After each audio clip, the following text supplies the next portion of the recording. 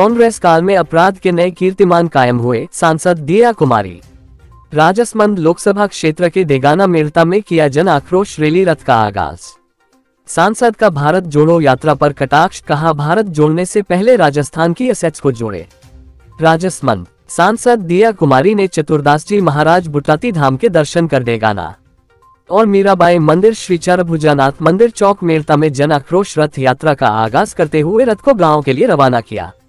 आपको बता दें कि सांसद ने कार्यक्रम को संबोधित करते हुए सांसद दिया कुमारी ने कहा कि कुंभकर्णी कांग्रेस सरकार इतिहास की सबसे कमज़ोर और नाकारा सरकार है।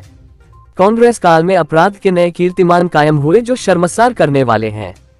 सांसद दिया ने कहा कि यह प्रदेश की कांग्रेस सरकार के लिए शर्म की बात है कि दुष्कर्म के मामलों में राजस्थान देश में नंबर वन, दलितों पर अत्याचार में नंबर वन, साइबर क्राइम में नंबर वन, बिजली की कीमतों में नंबर वन, पेट्रोल, डीजल की कीमतों में नंबर वन। पेपर लीक के मामले में नंबर वन है तो बेरोजगारी और महिला अपराध में दूसरे नंबर पर है। पिछले चार साल में राजस्थान में महिलाओं के खिलाफ अपराध दोगुना हो चुके हैं।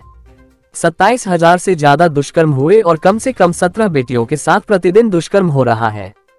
प्रदेश में चाहे अस्पताल हो, एंबुलेंस हो, स्कूल, कॉलेज हो, पुलिस थाना हो या फिर कोई भी स्थान हो, महिलाएँ कहीं भी सुरक्षित नहीं है।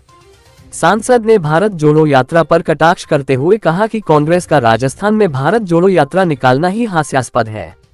जब उनकी एसएचसी आपस में लड़ रही हो, ये लोग विकास के वादे करके सत्ता में आए थे, लेकिन सत्ता में आते ही मन में विकार आ गया।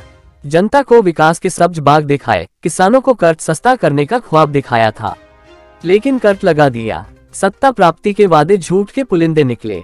कार्यक्रम में महेंद्र पाल चौधरी संयोजक शिव देशवाल, लक्ष्मी नारायण प्रभारी नागौर, सुरेश मेवाड़ा विधानसभा संयोजक पुखराज सेवदा मंडल अध्यक्ष सत्यनारायण मंडल, उपाध्यक्ष सहित कार्यकर्ता और आमजन मौजूद थे।